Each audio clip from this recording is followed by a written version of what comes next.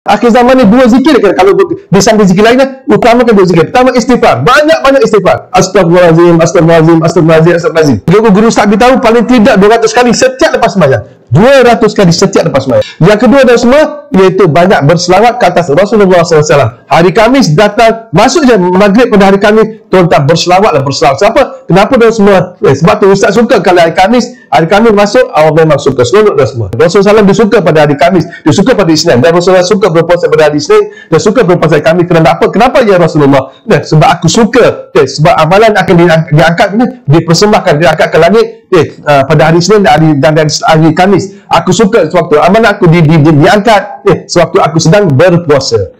Hari Kamis dan Ismail, hari Kamis pada malam Jumaat, hari Kamis dan Jumaat, masuk saja maghrib, mereka turun, mereka turun, membawa pena, tenda pen dia yang berniat yang berdawat berdawat emas dan cuma dia tulis siapa yang berselawat ke atas Rasulullah SAW dan dan bila kita berselawat ke atas Rasulullah SAW contohnya sallallahu alaihi Muhammad akan terus disampaikan kepada Rasulullah SAW dan Rasulullah jawab dia sambil tu juga Rasulullah tanya siapa mak bapak dia? Dia, dia sebut mak bapak kita semua. Kalau mak bapak kita berada dalam kubur seronok mereka ada mereka seronok. Allah anak aku ni. Nama aku disebut di Rasulullah SAW nama aku di, di, di, dia, dia, di, disebut-sebut oleh, oleh, oleh Rasulullah SAW